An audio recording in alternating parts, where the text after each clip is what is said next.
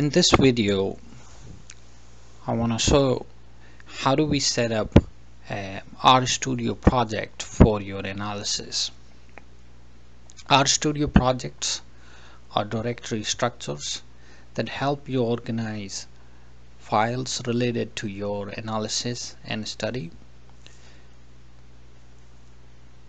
It will increase uh, efficiency and productivity for for your analysis. Uh, it is really helpful when you handling a complex project and also if you uh, handling multiple studies.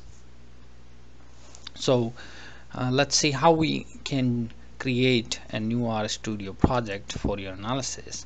So um, you need to uh, start RStudio software and then click on file new project. There are three options uh, new directory existing directory and version control. You need to click on new directory. Then uh, after the next um, window you see uh, several options.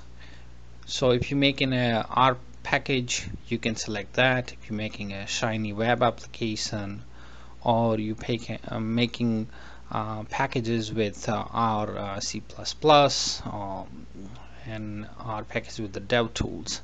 How um, but you need to if you are not doing any package building and and just want to have a directory for your project you want to click on new project which is to create a new empty directory for your project.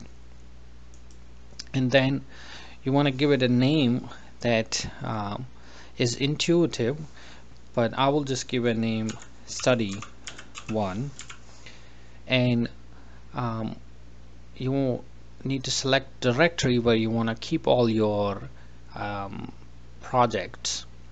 Um, you want to keep it uh, into a directory that is uh, easily accessible uh, by default RStudio will create these projects into my document directory.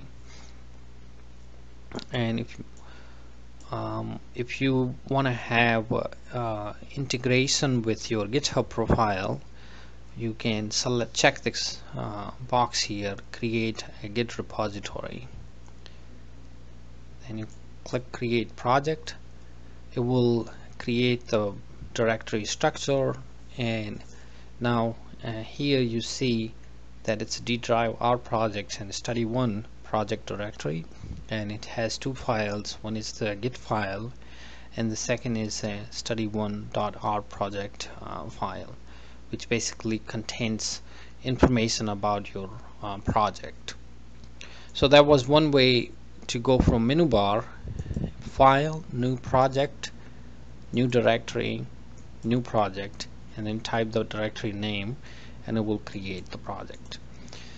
The other way you can also create project by going clicking on top right corner here and then you can uh, select click on new project and it will pop up the same window that to create a new directory for your project.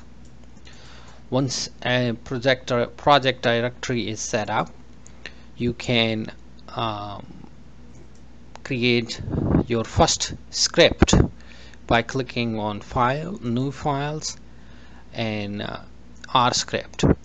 This will create a R script window and you can save this as um,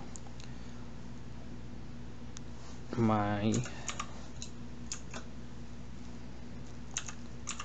first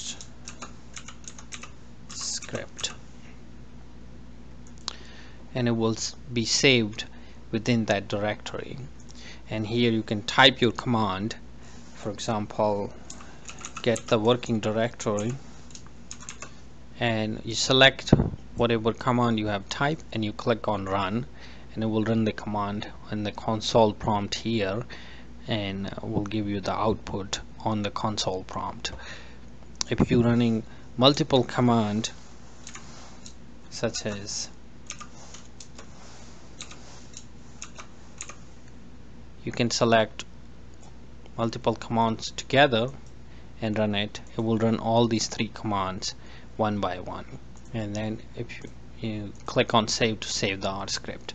So this is how we basically set up our project and uh, that will create the directory structure.